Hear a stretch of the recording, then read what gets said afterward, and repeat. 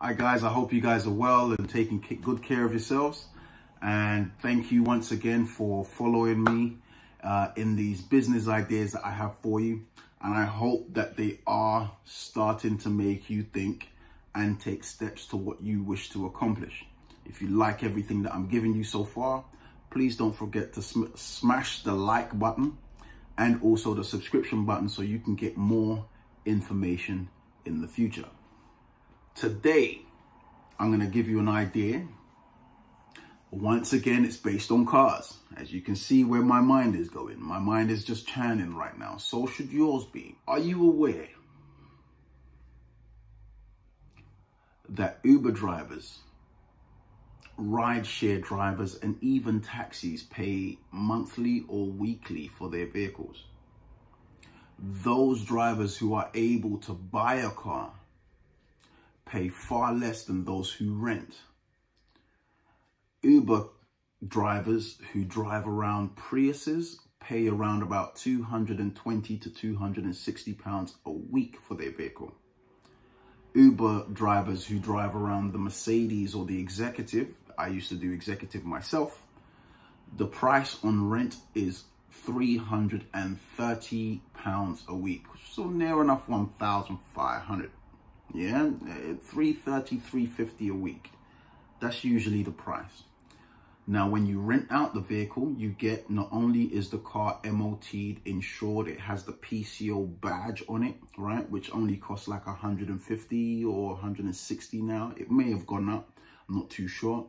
Um, this is the PCO badge to say that the driver is a licensed like taxi driver, right? Not only do you have to have that, you have to have commercial insurance. Commercial insurance, which covers the driver and their passengers, right? Um, and then you have to make sure the car is serviced. Now, if you were the type of person to buy a Prius from Toyota with your 1,000 to 2,000 pound deposit, your monthly outgoing is about 250 to 300 pounds.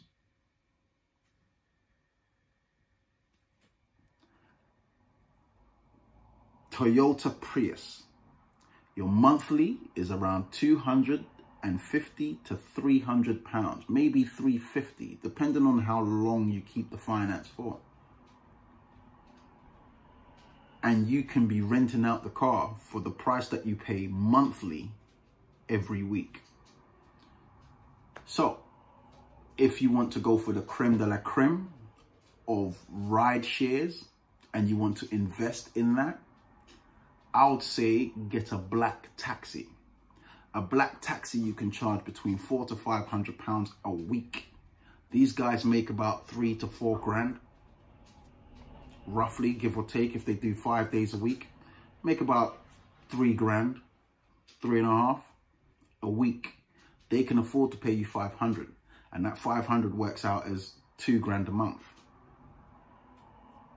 If you have four Priuses, you'll be spending 1,000 pounds, roughly, maybe one, two, every month on four Priuses. You have to pay your deposits and everything else that I mentioned. But those four Priuses will bring in 4,000 pounds every month without fail. If you can do this, you can have yourself a fleet of cars making passive income without any of the liability of the driving going to you. This is an old idea. I didn't implement it before because I was, I'm into houses, right? And the difference between the house and the car, although you will generate more money with the car, it comes with more headache and the asset can be written off. You can have a, you know, the driver can have an accident and so on and so forth. Although there are solutions that you will face and acquire, right? But for me at the time, it wasn't really something I wish to do. But if you have the time and you're not into real estate and you want to make money quick, because buying a house, the maximum you'll probably make in profit is about six, seven hundred pounds if you're investing outside London. If you're investing inside London, you'll make more money, right? However, there's a lot more initial payment from yourself in order to acquire the house. If you need to do any improvements, that too. And if you are going to do like a refinance to pull your money out, depending on how you bought it, it could be six months, nine months, or two years. Okay, at the very least that you can pull any money out. But with the cars, you'll get paid every week without fail by the drivers who wish to continue with these cars. You see? As vehicles get more expensive, less and less people are able to afford them. Less and less people who are driving want to put their hard-earned cash into buying these frigging cars.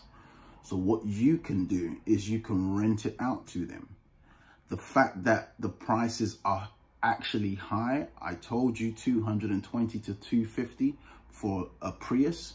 You can get five Priuses and charge 200 a month and everybody will come to you. You will never have a dry spell. Same thing with taxi drivers. If you do it at a reasonable price, your car should always be hired. And if your car is always hired, you're always making money.